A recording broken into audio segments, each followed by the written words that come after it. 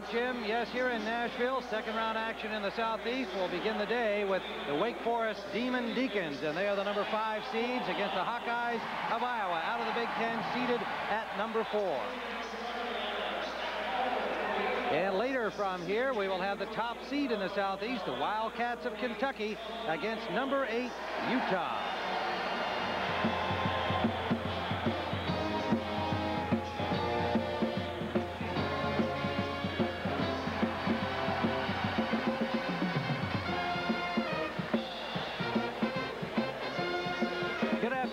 van a I'm Tim Ryan here on the campus of Vanderbilt University Memorial Gymnasium for the second round action here from Nashville. You know, number four seeded Iowa has now gone 10 and 5 since the tragic death of their star forward Chris Street back on January 19th. And while Coach Tom Davis declines to use his memory as a motivating factor for his team, the players themselves have said they want to do well for their very popular and much loved teammate Chris Street. And so here they are in the second round taking on Wake Forest in what should be a very good matchup. I am joined by our Hall of Fame basketball player and new mom, Ann Meyers. And, and uh, this matchup today figures to be different from the first round in that you've got two teams that are pretty physical, but maybe an edge in size and power going to Wake Forest. Well, you do, especially the forward positions with Rodney Rogers and Trelonnie Owens. They're so big, 6'7 and 6'8.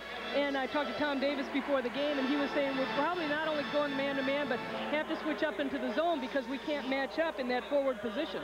Iowa, of course, does have the tallest man on the court, and a pretty good one in Acie Earl. Well, Acie Earl is going to be a key for Iowa as far as where he gets the ball on the block, and that, in essence, defensively for Wake Forest is going to be a key to try and push him out of position. Two good backcourts. Is there an edge to either team? Well, Childress is the main backcourt guy for Wake Forest to try and get his three-point shot off along with Val Barnes. All right, let's take a look at the starting lineups here today. And you can see that Iowa, with Rogers and Owens up front, the muscle there that Ann referred to. Hicks in the middle, pretty good size. Should be a pretty good matchup for Earl. And it's Childress and Harrison in the backcourt. Winters and Lookingbill with Acie Earl at center. Smith and Barnes in the backcourt. The word this morning from Iowa that one of their outstanding substitutes, Jim Bartels, a sophomore from Freedom, Wisconsin, is out with the flu, and he is joined uh, in uh, that situation by another reserve player, Kevin Skillett.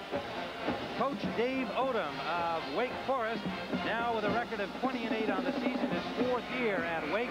The at-large entry that lost to Virginia in the first round of the ACC tournament has his team back on track. A victory over Tennessee Chattanooga, 81 to 58 in the first round. Tom Davis of Iowa, his team beat Northeast Louisiana in the first round here in Nashville, 82 to 69. They now have a record of 23 and 8, and like Wake Forest, an at-large entry. They are, of course, out of the ACC, out of the, the Big Ten. Officials are Scott Thornley from Pocatello, Idaho, Richie Ballesteros from San Francisco and Bobby Vetketter from Gun Barrel, Texas. You know, you talk about Jim Bartels and Kevin Skillett being out of the game. Both those players average 11, 12 minutes a game, and Bartels averages 16 minutes, 16 points and 7 rebounds. Tom Davis likes to use a lot of substitutes, wear the other team down, so that could be a key as far as those two players being out. No doubt. As we said, uh, Bartels uh, was a key performer in the first round game. Kevin Skillett did not appear in that game, but as uh, you mentioned, he does normally get a lot of minutes. Wake Forest is in their goal today, and Iowa in white, defending to our right. Kevin Smith, number 10. Val Barnes, number 20. The backcourt for the Hawkeyes. Wake Forest in that 2-3 zone.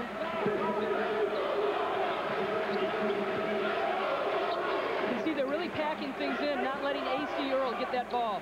Lookingbill hits for three to start the game. Wade Lookingbill, the man who replaced Chris Street in the starting lineup of the Hawkeyes, was one of his best friends on the team and felt obviously in somewhat of a strange position, earning that spot as he did, but he has played well of course, there are about, coming in. There are about three or four other guys that felt that Chris Street was their best friend, too. That's right. Very popular player on this team. First foul of the game will go to Earl Let's make it Winters. Winters picks up the foul. James Winters. James Winters, they call him Skywalker on this team, has great leaping ability. We talk about Winters and Lookingbill, only 6'5", and really not as physical as like a Trelonnie Owens or a Rodney Rogers. Winters indeed was Chris Street's roommate. They lived together on the campus, near the campus at University of Iowa. Junior from Joliet. Owens makes the first. See Dave Odom with his glasses on, very superstitious. He, when he gets a winning streak going and he's got his contacts on, he'll keep those contacts on. But he won the other night with his glasses and he's wearing them again. Trelawney Owens had 22 points against Tennessee Chattanooga in round one. And Coach Odom says that he has uh, been their best player the last several weeks.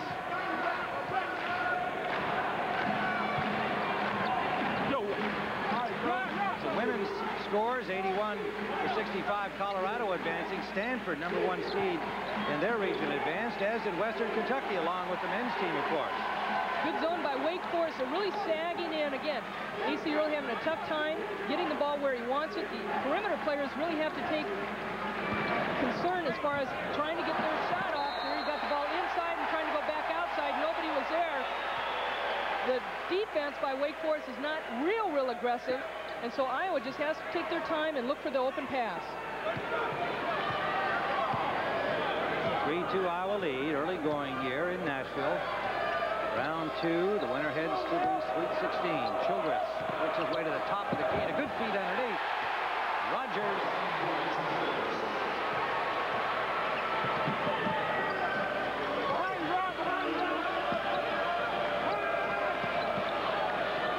Four three Wake Forest lead. Barnes and Smith in the backcourt. Lookingbill hits another three-pointer, his second. 6-4 Iowa.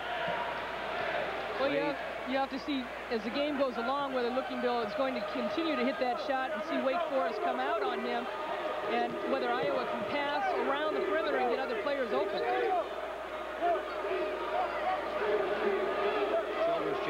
Play in the half court, uses Hicks for a screen, missing the three, rebound. Trelonnie Owens. Four points for him.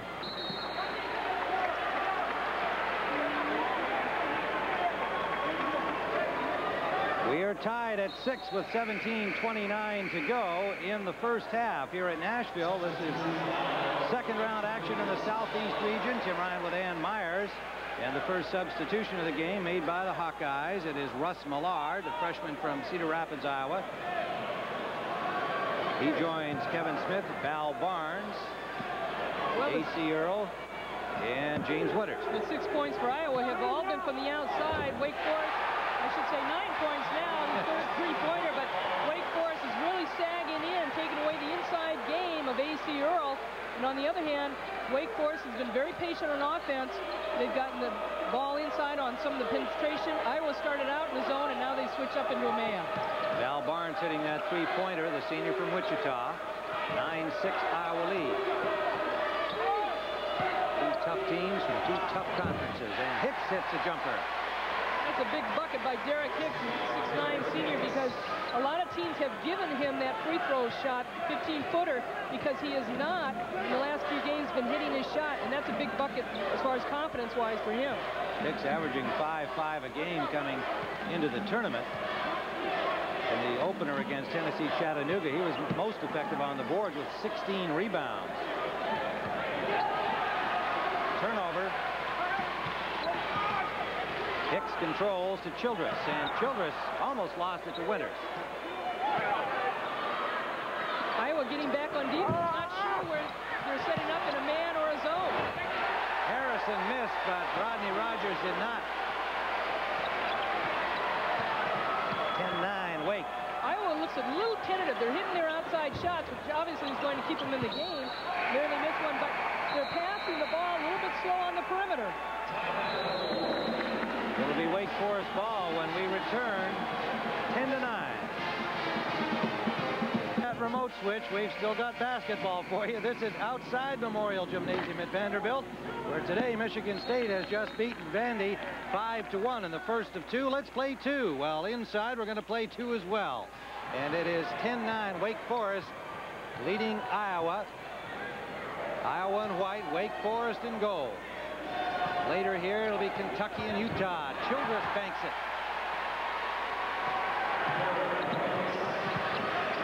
Wake Forest looks very patient on that offense, breaking that half-court press by Iowa. They have not rushed any shots whatsoever. Nice pass inside. Acie Earl got triple team and Lookingbill was all by himself. Lookingbill off well here in the early going for Iowa. 15.09 to go first half. 12-11 Demon Deacon lead. Rogers outside and now feeds it off to Childress and they'll set up the half court. Rogers going down deep. Tempo has been very slow for both teams. Just kind of a chess match. They're just feeling each other out. Harrison both, tries a lob. It's batted away by Lookingbill. Both pretty content to play in that half-court game. Bell. Good move underneath. The feed for Kenyon Murray, but they fail to convert, and the Deacons come away.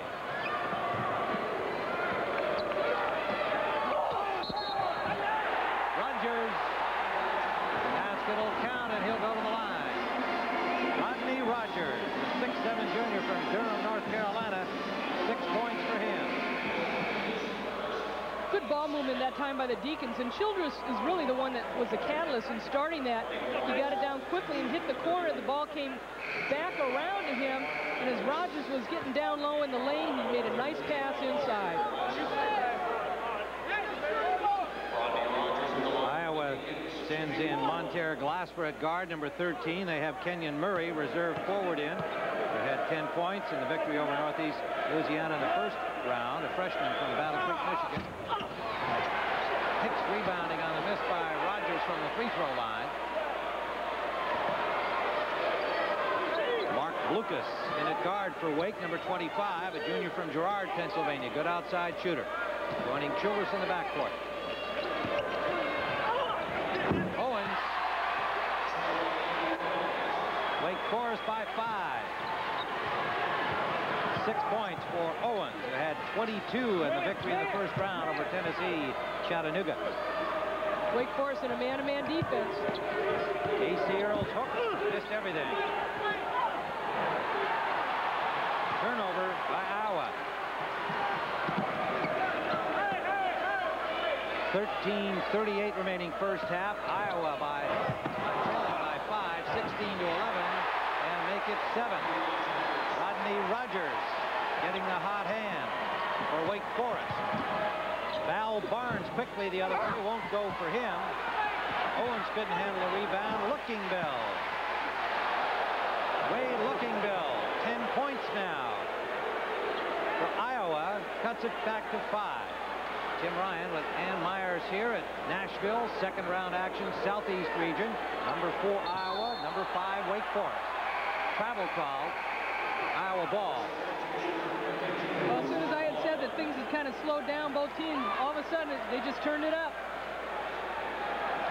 Dave Odom frantically waving down court. The benches are along the baseline here at Memorial Gymnasium, not on the sideline as usual in this rather unusual basketball arena at Vanderbilt. Wake Forest 18 to 13. Russ Millard back in the Iowa lineup, number 52, the freshman from Cedar Rapids. He has the ball. Kenyon Murray kicks it back out. Offensively with Iowa against the zone, if the, as long as they pass the ball and get into those seams, they'll get an open shot. They have had several opportunities, but they've hesitated and then just looked to pass. Al Barnes off for Murray. Childress up high to grab the rebound.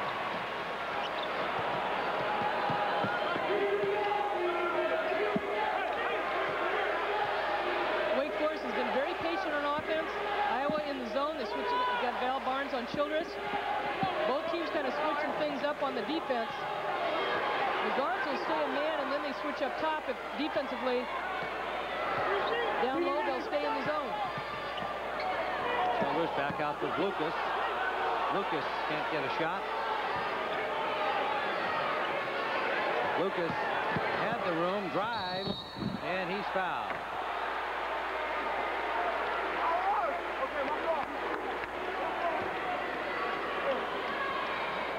First foul on Murray. You can see in the rebound department, Wake Forest, the bigger men, so far having the edge.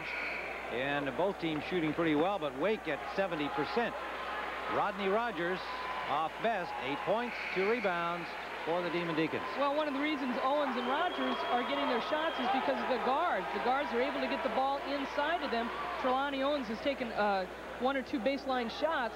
On the other hand, Iowa against the zone of Wake Forest has not been able to get the ball inside. Lookingbill has been a bright spot for them outside inside, but Acie Earl has touched the ball twice, and he's been able to pass once for two points and then have a hook shot that wasn't even close. Blucas missed, missed the uh, first of two. 18 to 13. These teams are already into the Sweet 16. Indiana having some problems with Xavier before advancing. And Virginia, a winner earlier today. So Blucas missed both. Smith driving into traffic. All tangled up with the big guys, but Iowa controls. Winters, Millard. Well, Iowa is coming off a season-high 25 turnovers against Northeast Louisiana, so you would think that Tom Davis has talked to his team about really taking care of the basketball.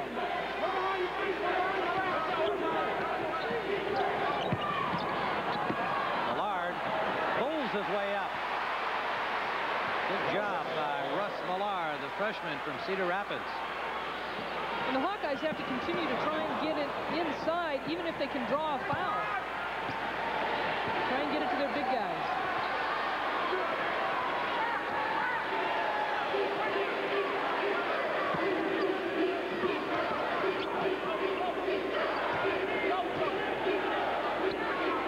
Solly Harrison, the transfer from Georgetown. Blucas misses. Good follow. Hicks. That time really sagged on defense. They challenged Childress to take that shot, but Iowa has to do a better job blocking out Wake Forest. Wake Forest has really attacked the offensive boards. Deacons by five. Iowa trying to get into their half-court set. Webb in the middle, and he hits from the lane. Jay Webb, 6'8 senior from San Jose. That's a nice pass inside by Winters to the high post. Iowa has not used that high post as of yet, and that was the first time. Webb giving Earl a rest.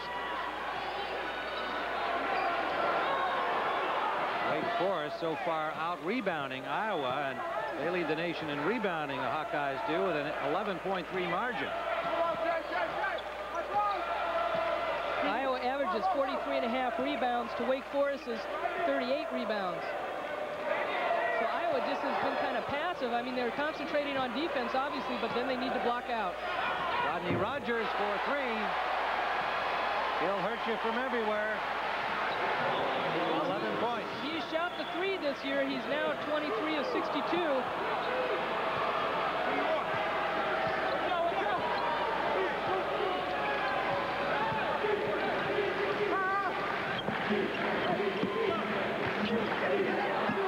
Another turnover for the Hawkeyes. You really see both teams have really sagged down from their guards positions to challenge the guards to take their shots. A steal and a foul from behind. It could have been an intentional call there. Winters driven out with a push. Well, Tom Davis definitely wants intentional because of the aggressiveness of the foul.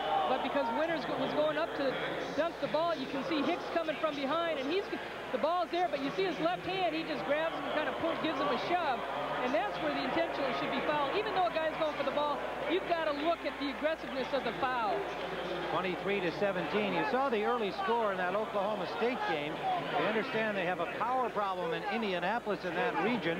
Uh, those of you who have been switched to our game, uh, we hope you'll enjoy it while you're with us, but we do intend to take you back to the game you were watching as soon as uh, power can be restored there. So meanwhile, enjoy Iowa and Wake Forest. 8.56 remains here in the first half. Wake up 23 to 18. Winters on the line for Iowa. Make it 23 to 19. 8.56 left to play first half. The NCAA Women's Final Championship on CBS. We're in Nashville, Tennessee, Music City, USA, so the college bands are contributing their form of music the city of Nashville this afternoon on a beautiful, bright spring day. Baseball outside, hoops inside. March Madness in Nashville. 23 to 19, Wake Forest on top. Tim Ryan with Ann Meyers. 8.50 to go first half. Well, something to look at in this first half so far. Acie Earl right there. He finally gets one knocked down and into the game, but he has been held scoreless in this first half and has not been a factor defensively either. Kevin Smith sets up the half court for Iowa. Lookingbill. Back to Kevin Smith. Tried to feed it inside of Barnes and Wake broke it up. Let's see who gets the ball. Well, that's the first time the Hawkeyes have penetrated against that zone. Might have been an inadvertent whistle. Scott Thornley apparently blew the whistle, and he's now consulting with Richie Ballesteros.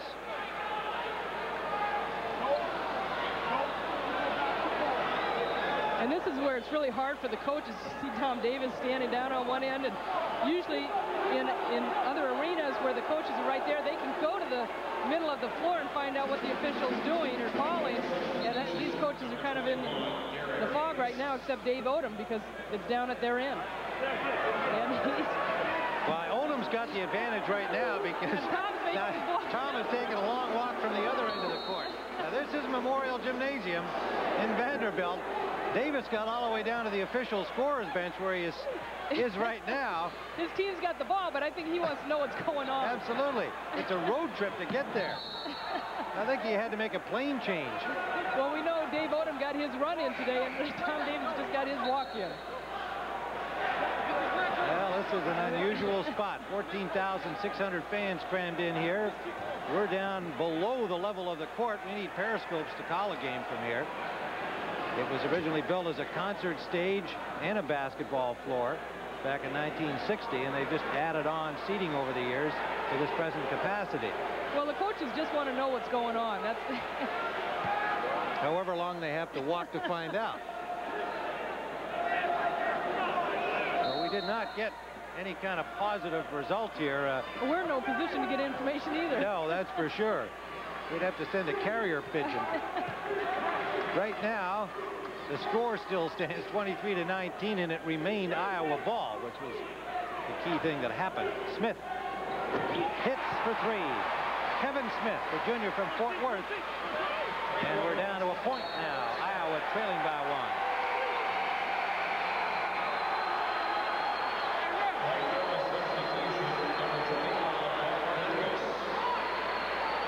Wade looking Bill right on the ball. Good aggressive play, trying to get his team up defensively.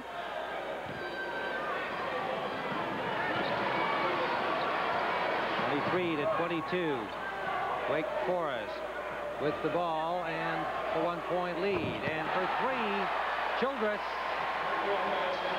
Five points for Randolph Childress, the sophomore from Clinton, Maryland a little bit more aggressive coming out, attacking that zone now the last two, three possessions.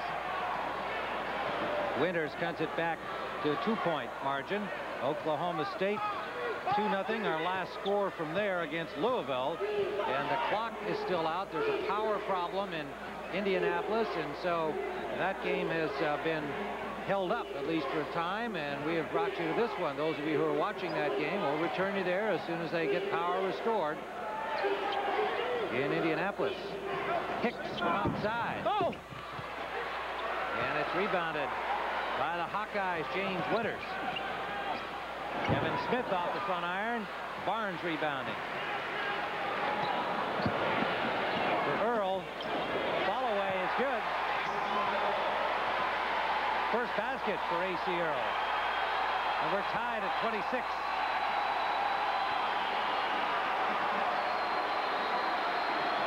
Pressing down the floor on that inbound. Both teams have been pretty patient in the half-court game, but when they've gotten the running going, both teams have taken advantage of that because the defense has not been able to get back and adjust to where the offense is running at them.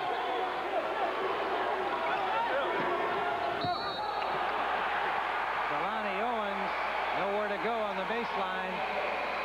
And time is called. 6.14 to go. We're tied at 26, first half. Second round action, Southeast region. That's Acie Earl the first there with a black cap on. And the proud father of Acie Earl II, who is performing here for Iowa today. You can see both teams shooting very well. Iowa 10 of 16, Wake 11 of 16. And the Hawkeyes losing two players to the flu overnight. Jim Bartels, who plays quite a bit, and Kevin Skillett, also a man who's had his minutes over the course of the year. And they like to use a lot of folks out there, so they're missing two from the bench today. Barnes inside for Earl. Well, the one thing you have to give credit to the Hawkeyes for, there's a great move right there. I think a lot of people wanted to travel, but boy, Acie Earl's legs are so long, he made a light pivot move, and they're going to cap the basket. Acie the first wants a three-pointer on that one. But I was just going to say, the Hawkeyes have done a good job as far as everybody getting involved in the offense because Earl has not scored for them. Wake Forest has done a good job keeping the ball out of his hands, but he makes a nice move inside there. All right, Daddy likes that action. Earl to the line. 28-26, chance for a three-point play. Second foul on Hicks.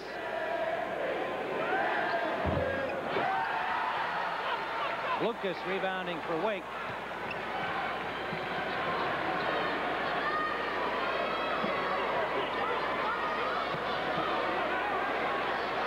Childress. Three. No. Follow. Good. Rogers. And there you talk about the big body as far as screening out. Iowa really has to concentrate on Rogers and Owens, but not only the big body, they're so quick. And it's difficult sometimes when you get a big guy that's slow of foot like an Acie Earl cannot screen out somebody as quick as a Rodney Rogers. Earl, nice move inside. Blucas commits the foul that time, and Earl more aggressively going to the basket now. We're tied at 28. Also, you see the defense for Wake Forest. Hicks kind of getting caught behind Acie Earl, and Iowa doing a much better job getting him the ball and moving the ball around the perimeter, which leaves him open, and he's able, nice little move right there, coming back to the left side and, and creating the foul. But Acie Earl really has to get involved in this offense. And Iowa, I think, has done a good job as far as kind of taking their time. They didn't force things into him. One more free throw for Earl would make him the second all-time scorer at the University of Iowa. He has the Hawkeyes up by one, 5.17 to go. Two substitutes ready to come in. Glasper for Kevin Smith in the backcourt. And they'll wait on the next one. Tom Davis said that he has really improved his game as far as rebounding passing this year. So a pair by Acie Earl, and he'll uh, get a rest. And he goes to the bench as the second leading all-time scorer at Iowa. Jay Webb comes in to replace him, the senior from San Jose. Number 42. Good effort there. A flying interception by Glasper. And Glasper with a dish for Webb.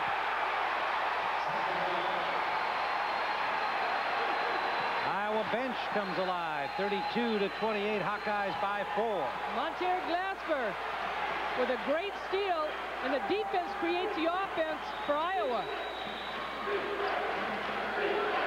Childress and Blucas, the backcourt for Wake. Banks in the lineup at forward with Owens and Rogers.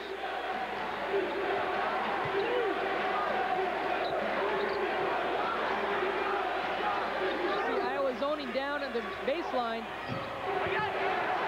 Owens missing. Glasper rebounding. Murray.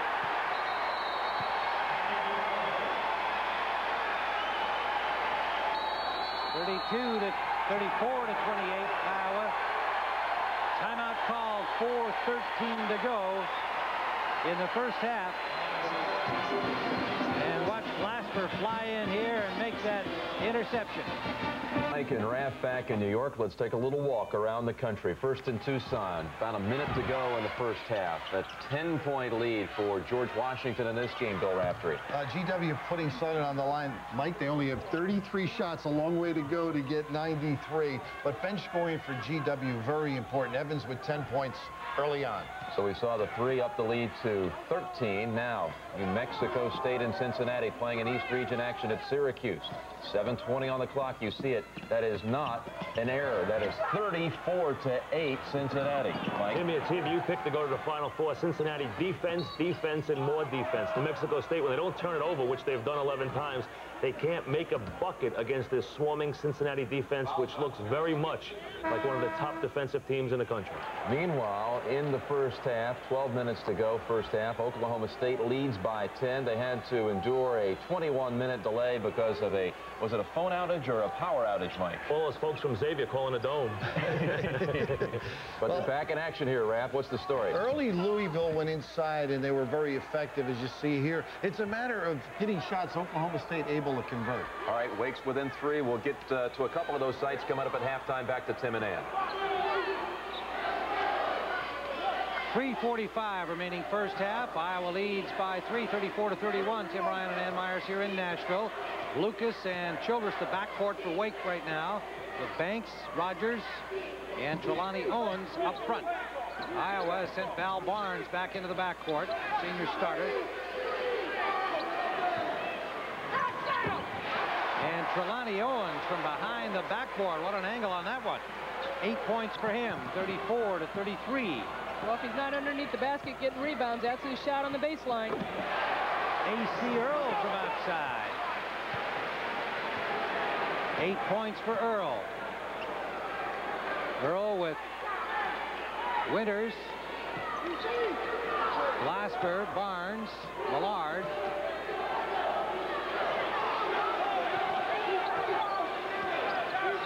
You see the zone defense by the Hawkeyes. Up top, they'll play a man-to-man -man defense. Down in the baseline, they play a zone.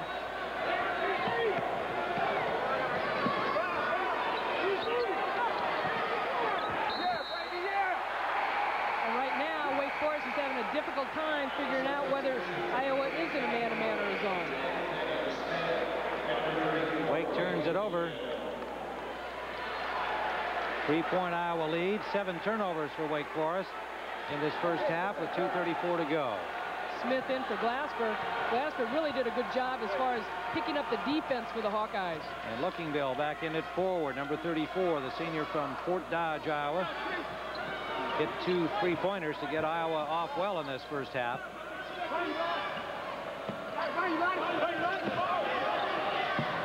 Kenyon Murray back in it forward, number three. Murray with it on the baseline.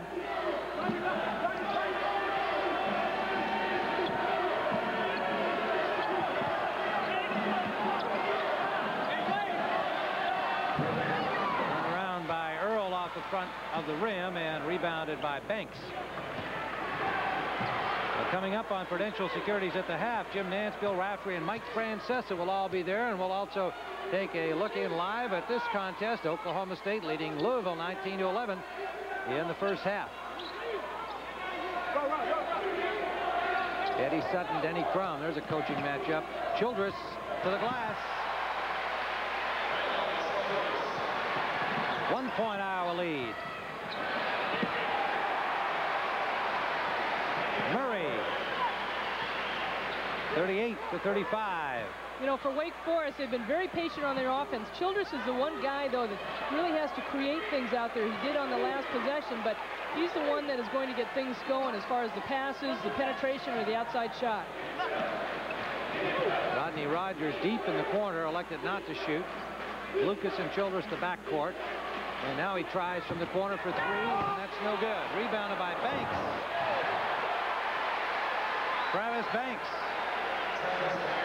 Sophomore from Clinton, North Carolina. One point Iowa lead. 38 seconds left in counting. First half. Both teams have shot the ball well from the floor. Wake Forest shot 63% against Tennessee Chattanooga. Interception. Picked off by Banks.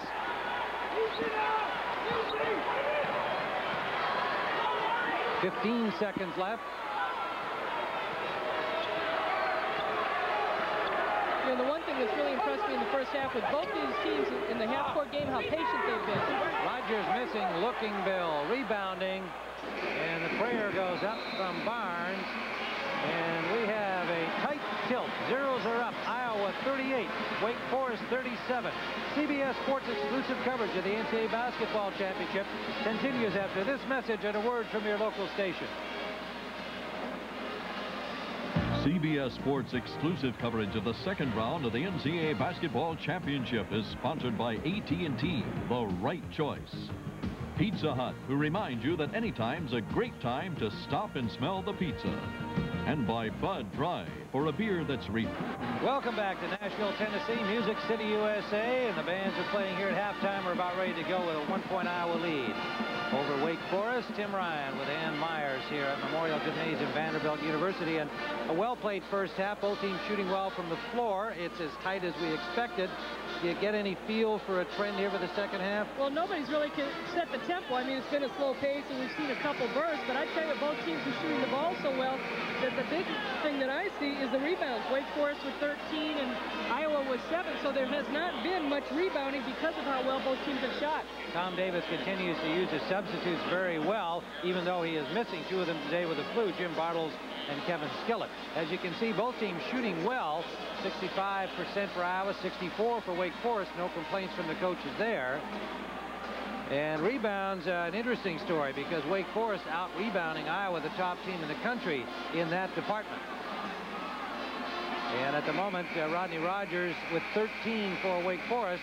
And Wade Lookingbill got off to a real good start, but he cooled off. He had 10 of the first 13 Iowa points, hitting two three-pointers at the beginning of the game, hasn't scored in the last 11. He's not a guy they look to to do the scoring for them, so that's been a bonus so far. The, the guys who can score got to crank it up in the second half, but Iowa leads by one. And the one thing you noticed also, Tim, was that Acie with eight points had no rebounds. So Wake Forest has done a good job keeping him off the boards. And we'll see if Iowa picks things up, not only defensively in this half, but whether they can hit the boards and be strong. Wake Forest in goal defending to our right, Iowa and white to our left. Childress, first shot of the second half. Drop for him. Rebounded by Rogers. Another big rebound by Rodney Rogers. And Wake Forest now with 14. Rogers had 26 points and five rebounds in the victory over Tennessee Chattanooga in round one. First foul on Harrison. Sent Barnes to the line for Iowa. Val Barnes has been very quiet, only three points in that first half. He really has not looked to shoot the ball. Dave Odom way down at the other end of the court from the action.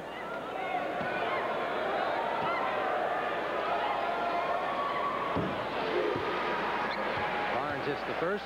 Here we'll see on the other end, you see how Rodney Rogers uses that big body to really get Acie Earl out of position to get that rebound. Acie Earl's working hard to get position, but then he's got to go up and get the ball.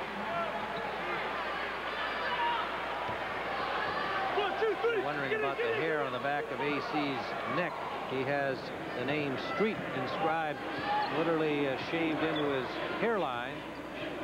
It's his personal tribute to his late teammate, Chris Street. Well, you look at Iowa, kind of a sympathetic favorite as far as Chris Street dying. And, and he died in the middle of the season. I kind of compare it to like the Hank Gathers back in 1990 with Loyola and Bo Kimble. And they made it to the final eight. And I think, because I had done their games the year before, nobody believed that Paul Westhead could have his teams run like they did. They got a shot off every under seven seconds. And nobody in the country believed that they could play like that. And I really think they could have gone to the Final Four if they had not played Las Vegas. Las Vegas ended up winning the national championship that year. But Hank Gathers was such an emotional thing, and that was towards the end of the season when he collapsed and died. Well, these are uh, young men, of course, and uh, there is a lot of emotion involved when you've got college kids, in effect, playing in the NCAA tournament. And the fans and teammates alike remember Chris Street. Rogers fouled by Lookingbill, and Rogers misses the first of his free throw tries. Rogers a 71% shooter from the line. And Wake just uh, two of six so far. And, you know, there's also a comparison to Tim as far as both players, Hank Gathers and Chris Street, they were such charismatic people. Everybody loved them. They were so sweet to, to all their friends and anybody they met on the street. Lookingbill trying to drill it in there to Winters. It couldn't hold it. We're tied at 40. Turnover goes to Wake Forest. Charlie Harrison, transfer from Georgetown, a junior, working the backcourt. And a foul away from the ball. Winters. James Winters really getting caught behind defensively that time and not able to make up. He's going to pick up his third personal. And that's a key because Winters is a, is a good defensive player, and he's one of their big rebounders. He just cannot afford to get frustrated. He's going to come out of the game right now with Murray coming into the game. But Winters is a big player for Iowa as far as getting a lot of rebounds. Of course, there haven't been too many rebounds to get because of how well both teams are shooting. And he contributed 12 points in the victory over Northeast Louisiana in round number one. So Kenyon Murray comes in for him, the freshman from Battle Creek. They lose a little experience there, but Murray played well in game one. Murray also a big jumper, just like Winters. Good move by Childress. Lookingbill got caught the first time, left his feet, and then was behind defensively, and you think he would have stayed on his feet.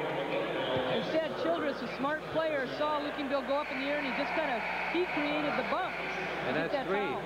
On well, Lookingbill. and that's the second jump. Lookingbill just should have stayed on the ground. All he had to do was reach, and he knew he made the mistake.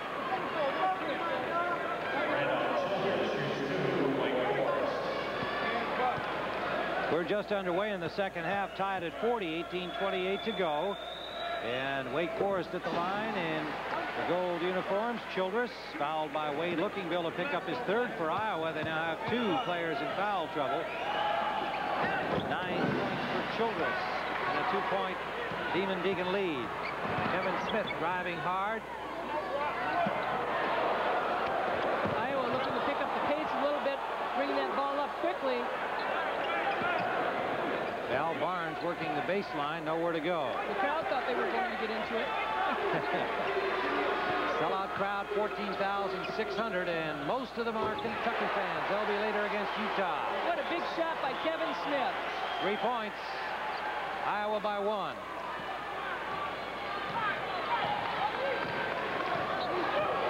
Kevin Smith has been very solid at that point position for the Hawkeyes.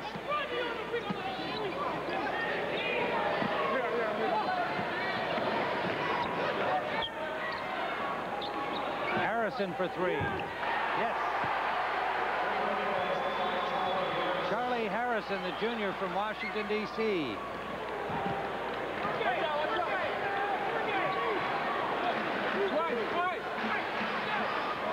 Iowa slowing it down. Smith and Barnes in the backcourt now.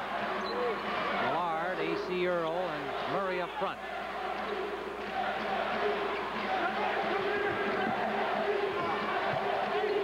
Good pass inside Earl. He's got it.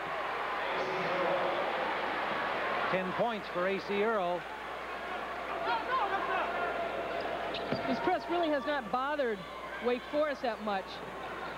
It's not been an aggressive press. They've not, Iowa has not been able to trap out of it. And there they get the first trap, but Wake Forest has been very patient. Once they break it, you can see Hicks kind of bring it back out.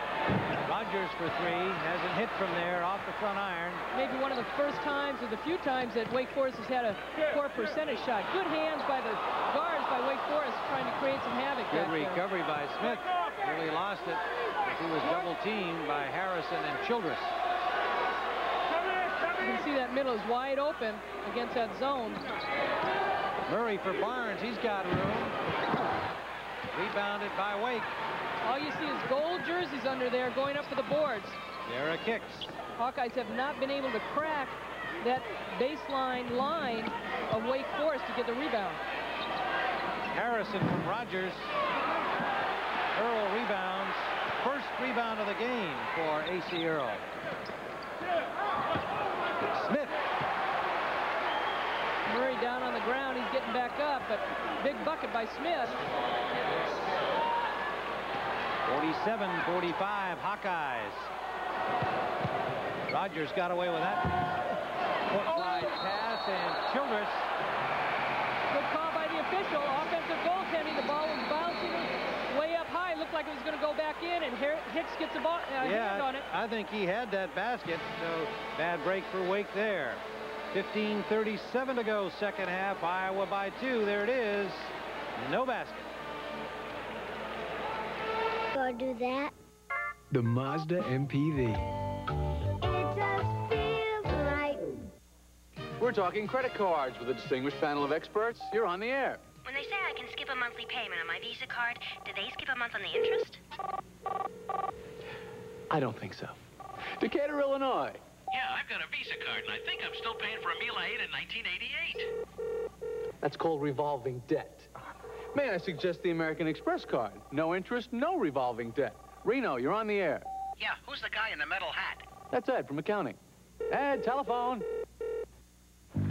If there's a problem getting your 800 calls, AT&T guarantees to reroute them within five minutes to another phone, even if it's in your home. Hello, Sam Salmon. In Nome, one of the 800 reasons to choose AT&T 800 service, the best in the business. There is a sound you can hear on the new Riviera. It's the sound of German being spoken by those who converge on Ocean Drive. In your town, America, and the world. Beck's, the number one imported German beer.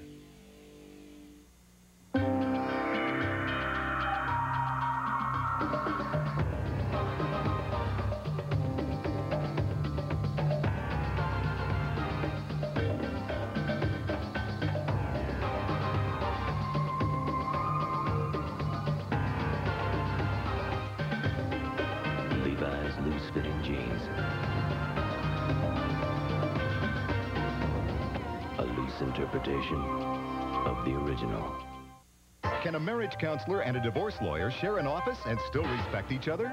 People have fun when they're married. And then when they get caught, they wind up single again. Good advice Friday, April 2nd. Biggest lead in the game has been Wake Forest by seven. It's down to two, and it could have been a tie ball game again, except for that goaltending call. Derek Hicks Basket just got, interference. just got a little anxious that time, but you know that press, what it created was Wake Forest starting to take a quick shot, and I think that's what Iowa would, would like to do is get into a little bit more of a running game and force Wake Forest in an up-tempo game because Wake Forest against that press, taking a quick shot, Lookingbill, another big outside shot, would force Wake Forest to run with the Hawkeyes, which is what Iowa likes to do. 13 points for Lookingbill. Went through a scoreless drop there, 11 minutes of the first half after hitting two threes to start. 50-45, Hawkeyes by five.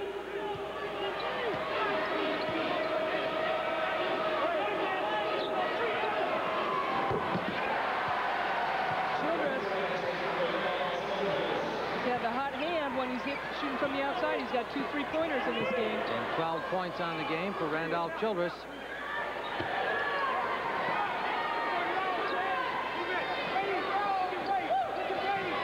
Winters back in it forward. Turnover. Childress the feed for Rogers. Crashing the boards with Winters and Webb. And this is going to be a tough call. It's going to be on James Winters instead of Jay Webb. Jay Webb should have gone right in and said, oh, it's my foul, my foul, because Winters is going to pick up his fourth personal.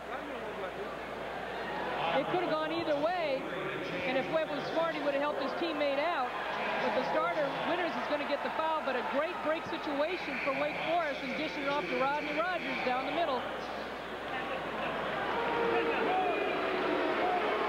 Winters goes out with four fouls, and Val Barnes returns for Iowa. And if you're wondering what the ruckus is inside here, it's the arrival of the Utah Utes. Coming into their warm-up uniforms, identifiable in red, and as we told you earlier, the bulk of this crowd, Kentucky Wildcat fans. As many as 12,000 the estimates are. Good job of securing the tickets by the Wildcat fans. they only started with 250, and they've got about 12,000. 14.25 remains here in the second half. Iowa 50 to 49, and Rogers with a chance to tie it up for Wake Forest from the free throw line. Well, Iowa had defensively picked things up, got a couple rebounds, missed some quick shots, and Iowa if they can get their running game going, but again, take good shot selections. Lookingbill, trying for three. Webb on the rebound, and he's fouled. The ball will not drop for him. And that's the quickest shot that Iowa has had all game. They've come down. Lookingbill has hit three-pointers for the Hawkeyes. He's got three three-pointers in this game. That one he just comes out short. But an offensive rebound for the Hawkeyes, and Iowa has gotten beat, which is a big surprise on the boards. Derek Hicks picks up his third. 14-15 to go. Hicks in foul trouble. They don't have a true substitute for him. They would go with Banks, a 6'6 sophomore forward. So we'll be watching that closely. Right now, the teams continue to shoot well. Iowa up to 66%. And uh, utilizing their bench as they do every game, that has been a factor. 52 to 49. Iowa pressing deep now. Well, you saw the uniforms, what team is in what color. Wake Forest is in gold. They were 6 and 0 at one point. They're 6 and 2 in their gold uniforms. They have four uniforms. Great pass by Childress, who's done a super job getting the ball inside to Rodney Rogers, and you're not going to stop that. Rogers 19 points. He had 26 in the first round against Tennessee Chattanooga. But Wake Forest had gone down to Florida State, and they were going to wear their gold uniforms, and Florida, Florida State said, no, no, we got gold. and at that point, they'd been six, six and two in them.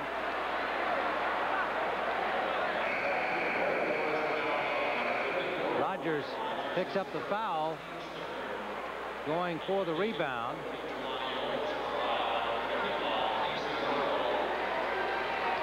Good pick right there, and Lookingbill trying to get open on the baseline, and you see Murray with the pass, nice pass inside.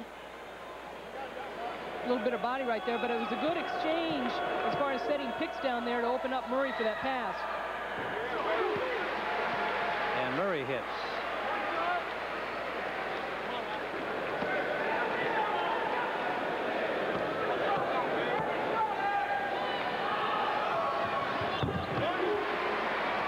Iowa solid from the free throw line. Now up by three points.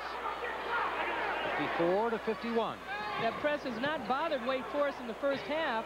In the second half, they picked things up a little bit to try and break that press as far as breaking it quickly and then taking a quick shot. And they took a couple poor percentage shots. Childress. And with Childress handling the, the things as far as the offense is concerned, things get settled down. Travel call against Randolph Childress. Nine turnovers by Wake Forest. Childress does a good job penetrating to the basket. He thought he got the defensive call as far as the foul was concerned, but they saw the officials a little shuffle of the feet. He averages nearly 20 points a game. He's a key performer. He's a fiery guy out there. Keeps everybody pepped up as well.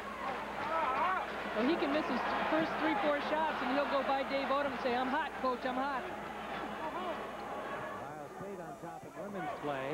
Auburn 53, and Stephen F. Austin leading Clemson. And Virginia on top of Florida.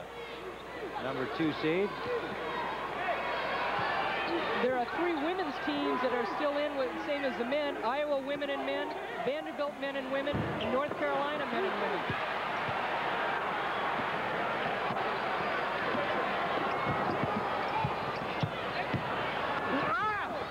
That's a tough shot in there by Murray. He had three trees on him. Thought he was going to kick it back out. He felt he might be able to get a foul out of that. Childress going the distance. What a great play by Randolph Childress. Defense was not back, and he just took it to Acie Earl, the leading shot blocker in the Big Ten. 14 points for Childress. Iowa by one. Glasper and Barnes in the backcourt now for Iowa. And that's been the big advantage when Iowa has missed him. The Demon Deacons have been able to get the rebound and kick the ball out, whether they get a fast break, but at least they can set up in their half-court game, and that has hurt Iowa. They have not hit the boards. Earl, bounce pass for Lookingbill, and he connects. Lookingbill, 15 points now. His career high is 18 against Minnesota this year.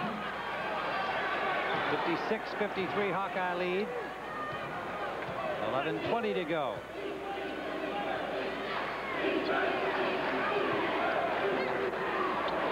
Childress for three.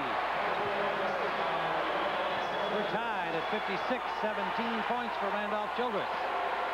Barnes. Wake Forest again doing a great job screening out. Iowa just has not been able to get on those offensive boards. Trelonnie Owens came up with that one. Blucas and Childress, the backcourt pair now for Wake. Hicks let it knock away. Good recovery. Glasper all over him. Good defense. They're going to call a foul on Glasper reaching in, but defensively, they were able to stop Rodney Rogers from taking that baseline, but Rogers recouping, making a good pass down low. First on Glasper. Owens will go to the line. Well, some coaches just can't get enough basketball. That's Eddie Fogler, the men's Vanderbilt coach, Jim Foster, the women's coach here at Vandy. Both watching today. Fogler has his team into the Sweet 16 the men's side, and of course uh, the Vandy women won their opening round against California. Well, my math is so bad. I never was good in that subject, but there are six teams. I had said three, but Vanderbilt won with the men and women. North Carolina, you got Louisville, Western Kentucky. And Virginia. Uh, Virginia, yep. And Western Kentucky mentioned, yeah. So that's kind of interesting to see how both men and women proceed the rest of the way in the NCAA postseason play. And here it is tied at 56, 10, 26 remaining in the second half. Harrison back out for Blucas. Blucas and Harrison in the backcourt. Hicks, Owens, and Rodney Rogers. And there's a sample of what that guy can do. So strong. And what a touch. Well, they just really pass the ball around, make things open up for him in the middle, and they get a good pass inside to him. Earl responds. That's been the big difference as far as Rodney Rogers getting the ball. Wake Forest being patient on offense. Acie Earl ties it at 58. 12 points for Earl.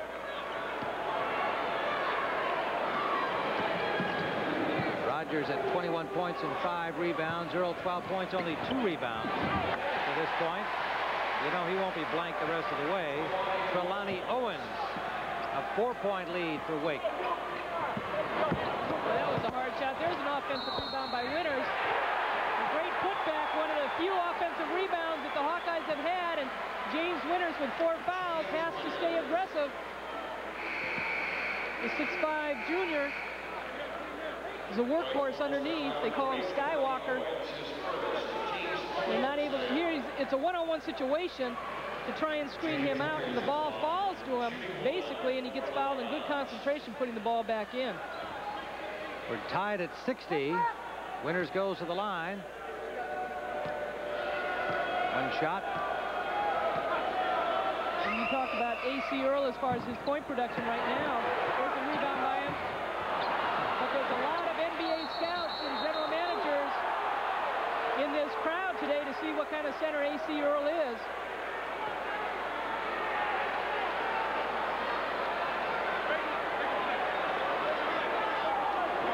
And the arrow, which goes up and down, the V for visitor and the H for home.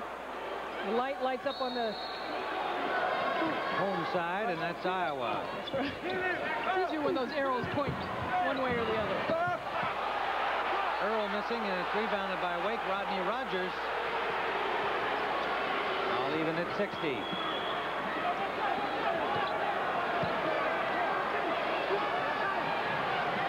Wake Forest with those second chance points taking advantage. But the game tied. That's good for three. Childress 20 points for Randolph Childress over his average. Acie Earl feels he's been getting hit on the arm on those shots. He's just got to keep taking it back up. Got his own rebound and a good effort there over Owens.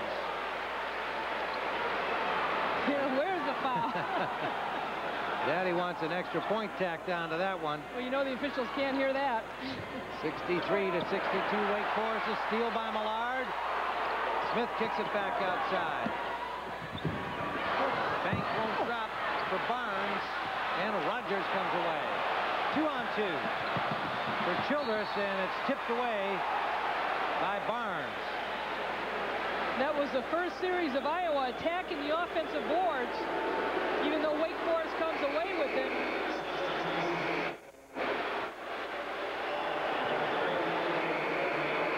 You see Rodney Rogers coming down with the ball and kind of swings it, doesn't know. Millard is right behind him, but the Hawkeyes cannot take advantage of it.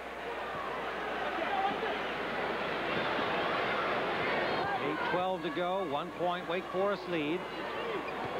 Marc Blucas. Owens. Won't drop for him. Rebound by Hicks. The Demon Deacons. Childress. De Demons on the boards, huh? Yeah, they sure are. Nice turnaround by Owens. And as well as both teams shot in the first half, they're missing a little bit more, and Wake Forest has just controlled the boards. Iowa, Zero dribbles it off his foot, and they call it to Iowa. But Iowa, the number one team in the nation as far as rebound margin, are getting beat on the boards. Wake Forest leads by three, 7.38 to go. So in attendance today, uh, several of the people from the pros, Don Nelson, head coach, GM of the Golden State Warriors, Mike Dunleavy, coach of the Bucks, Jerry Krause, GM of the Bulls, and they're all looking at the same guy, and he's easy to see out here today, Acie Earl, a senior, well, in this game, they're looking at the big guy. In the next game, they're all looking at Jamal Mashburn, and Nellie was telling me earlier that, uh, hey, we got a lottery pick. You got to look for somebody big. 65-62 and make it a one-point lead. Barnes. Wake Forest by one. Hawkeyes continue to press. It's not a real aggressive press. It created the odd trap with it, but Wake Forest has not been bothered too much. Rogers for Trelonnie Owens, and then Rogers breaks for the basket, but it's Murray there for Iowa. Iowa coming out of that timeout was in a man-to-man. -man. Smith. Kevin Smith, the junior from Fort Worth, seven points. Iowa by one. Seesaw battle continues. Largest lead belonged to Wake Forest, seven points, back in the first half at 18-11. And when you can get a defensive rebound, you can get your break going, and that's what happened with Iowa. Kevin Smith just kicked it up, and the defense was not able to get back and find him. Rogers hasn't hit the long ones today. Earl rebounds. And really not that bad a foul by Marc Blucas because it stops the break. Second on Blucas. Iowa by a point. Well, more action coming today on CBS coverage of the tournament. UCLA and Michigan, the top seed out west, and Utah and Kentucky right here in Nashville, Kentucky, the top seed in the southeast.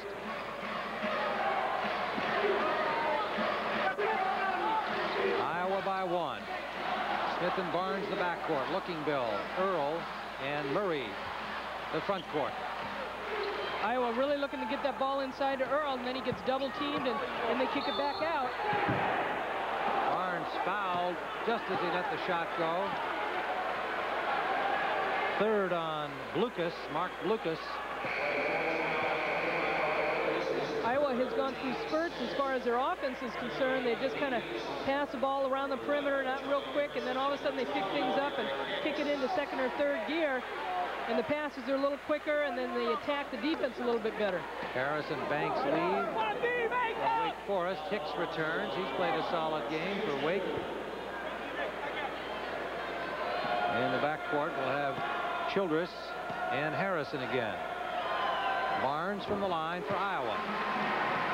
Barnes last year only, this year is only 74% free throw shooter. Last year he was 86%, he was 21st nationally. And uh, he hurt his foot though last year, and so he's had to kind of work himself back in, and he's had a great senior year. He hits for two. 10 points for Barnes. Three-point Iowa lead. 6.09 to go. This one looks like it's going to go right to the wire. Iowa, Iowa trapped in that front court that time off the man-to-man -man rather than the zone, and they really had to hustle back on defense. Charlie Harrison Owens to Rogers, and Rogers left hands it up. Well, Acie Earl may not have touched Rodney Rogers, but a, what a great bounce pass inside to Rogers. And Rogers, people forget that he's left-handed. 23 really, points. And he really uses his body well. Here he goes down, gets that pass, and look at him come back around the basket. And he's going to have a chance to go to the line, but Acie Early is very surprised that that foul was called. But you have to look at the angle how Rodney Rogers went in, and for most people, they're going to perceive that a foul was called or was made, and they did call it.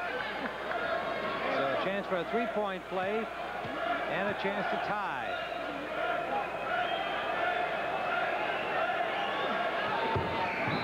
Twenty-four points for Rodney Rogers and 26 in the opener here in Nashville against Tennessee Chattanooga.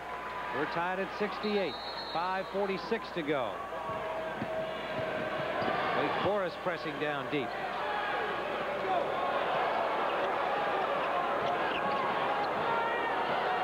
Barnes trapped. Barnes calling a timeout.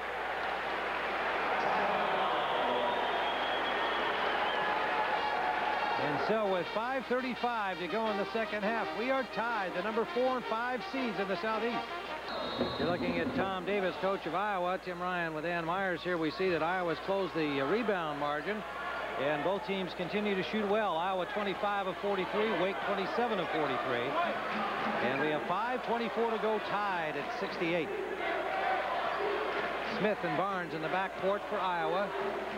Earl, Lookingbill, and Banks.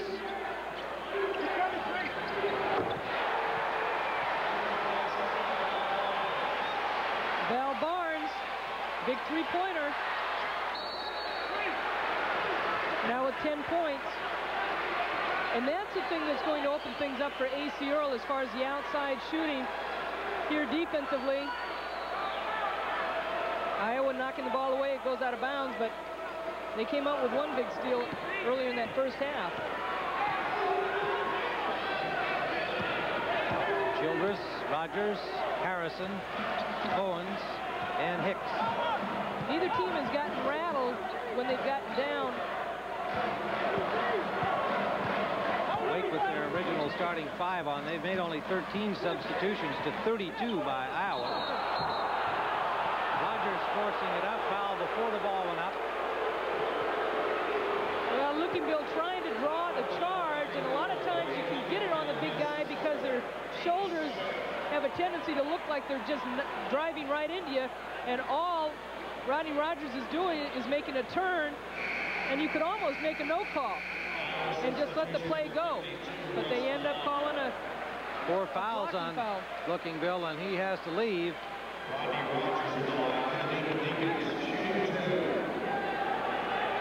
You know, we mentioned about the substitutions for Iowa and the two players that are out, Jim Bartels and Kevin Skillett.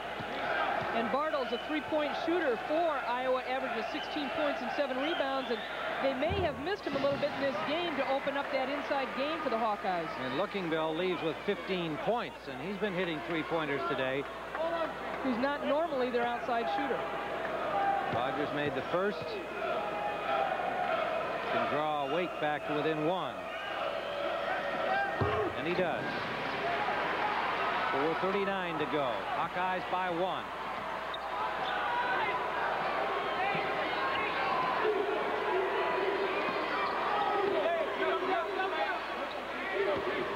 Acie Earl. Acie Earl very frustrated inside, trying to create something for himself, and then got caught up in the air instead of kicking it back outside. Give credit to the Wake Forest defense, really making it frustrated for Acie Earl.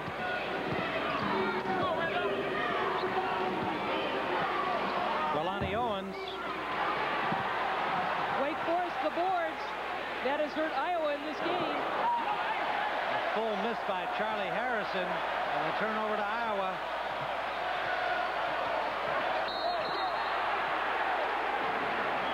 Reach-in foul call against Wake. Owens picks up his second. Now we're into the penalty here. One and one.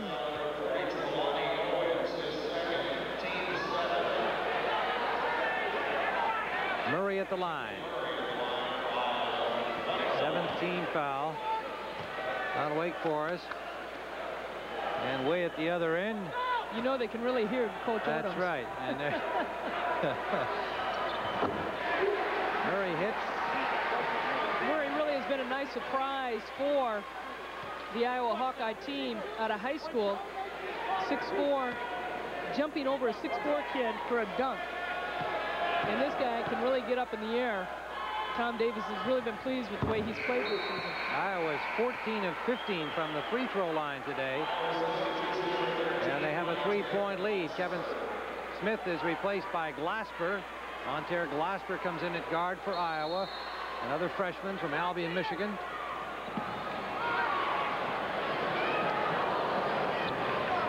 Kind of a dangerous pass right there. Now remember, we've got more action ahead. UCLA and Michigan, top seed in the West. Kentucky, the top seed in the Southeast from here in Nashville against Utah. All ahead on CBS today as we continue our road to the Final Four. Three-point Iowa lead, 3.26 to go. Rogers finally gets the long-range bomb. 29 points for Rodney Rogers. Tied at 73.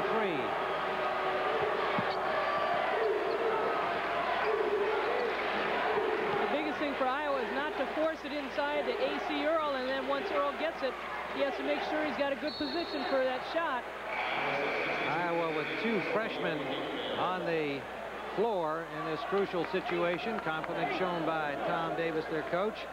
And right now, uh, Winters and Lookingbill both with four, and Lookingbill was up to come back in, and he is in the lineup. He'll inbound it. And those are the two forwards for Iowa. Lookingbill not able to get it in, calling a timeout.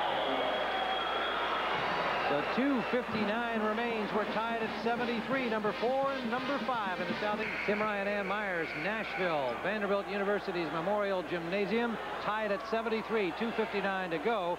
And Iowa with just one timeout remaining, having to take that one, unable to inbound the ball. And uh, Barnes hits a big one. Val Barnes, the senior, 75, 73, 15 points for Barnes. He's come alive. He's go. come alive in the second half. All 13 are in the second half. 10 lead changes, seven ties in this game so far. Biggest lead was seven by Wake early on. Driving is Rogers.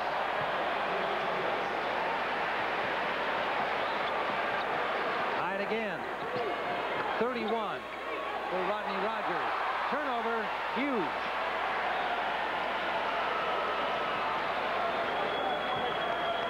Harrison had it handed to him.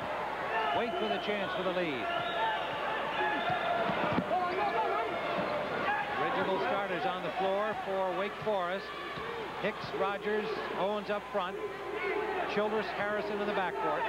Well, Winters is guarding Rodney Rogers. There's a timeout by Wake Forest, and Winters with four fouls had a tough time that last possession. Wake Forest takes the timeout. 159 to go in Nashville. Each team has one timeout remaining. They're both in the bonus. Tied at 75, 158 to go. Wake with their original starting five. Barnes and Smith in the backcourt for Iowa. Millard, a freshman up front. With Winters and Earl. Childress. Well, that's the one guy you didn't want shooting the shot. Wake Forest knew it was going in. 23 points for Randolph Childress, sophomore guard from Clinton, Maryland. Iowa just sagged off a little bit too much on Childress. He's been hot from that outside. Smith for Barnes. Barnes, pointer off the mark. And the rebounds again. They're going to call a foul on Millard, pushing Rodney Rogers underneath. Val Barnes missed that shot, but the bread and butter year long has been the rebounds for the Iowa Hawkeyes. And you can see Acie Earl, J Derek Hicks has done a great job on Acie Earl as far as keeping him away from the boards all game long. Hicks has only had four points. They were early in the game, but he has worked tremendously hard on the defensive end to keep Acie Earl away from the boards. Lookingbill with four fouls on him. Staying in there, of course, with 119 to go. Rogers missing the first free throw, and Wake Forest rebounds. Rogers with 31 points on the game. Wake leads by three. They have the ball. Iowa's got to go into a man-to-man, pick them up. They've got to force something. They're calling it out now. Winters on Harrison. You got Owens and Smith in a mismatch there. They switch back. Wake Forest didn't see it. Smith now comes out on Harrison.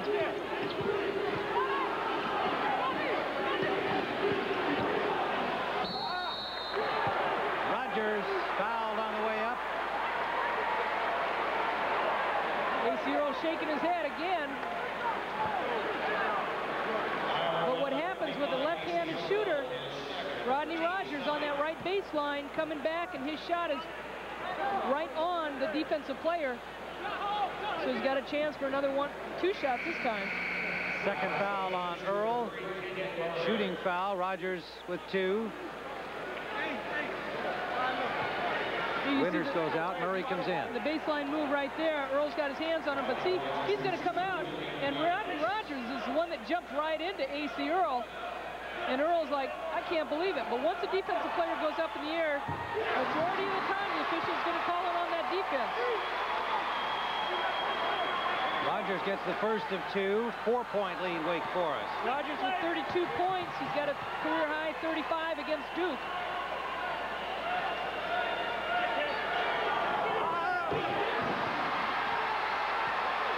Eighty to 75. Rogers plays so relaxed, so poised. Lookingbill. Can't find the range. Two Wake Forest players are there. Owens and Harrison. Well, Lookingbill knew he had to foul. Childress is just talking back to us like, I don't know what he's saying.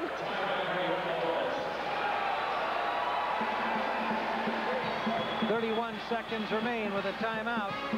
80 to 75, Wake Forest. How about some trivia?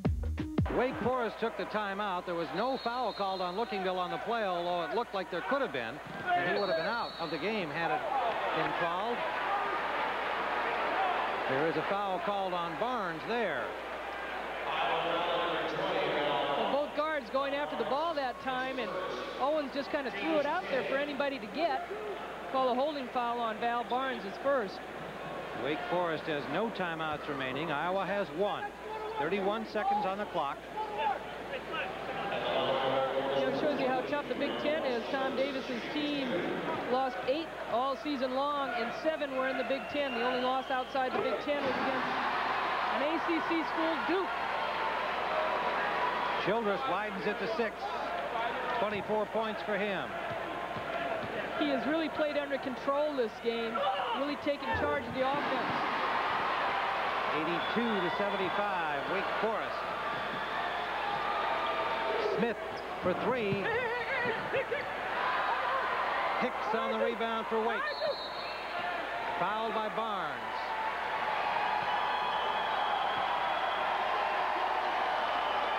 Wake Forest, their 11th NCAA appearance, their third straight. Last year lost to Louisville in the first round. Well, you're and happy. right now they've got a good chance to move to the Sweet 16. You're happy for Wake Forest, and there's a, a team that will not forget Chris Street and what he has meant to the University of Iowa, the state of Iowa, and to this country.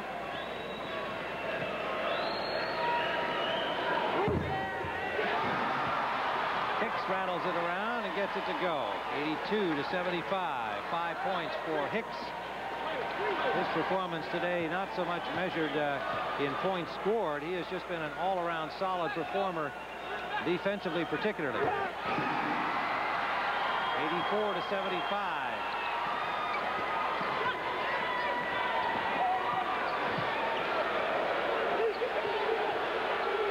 Smith for three. Iron, Murray. Murray for three. Yes. Four seconds remain. Six-point lead for Wake Forest. And they'll have the ball when we return. Well, Wake Forest, appears headed into the Sweet 16. Kentucky and Utah next. Here from Nashville, Wake Forest ball with the lead by six. Iowa desperately pressing, and that's it.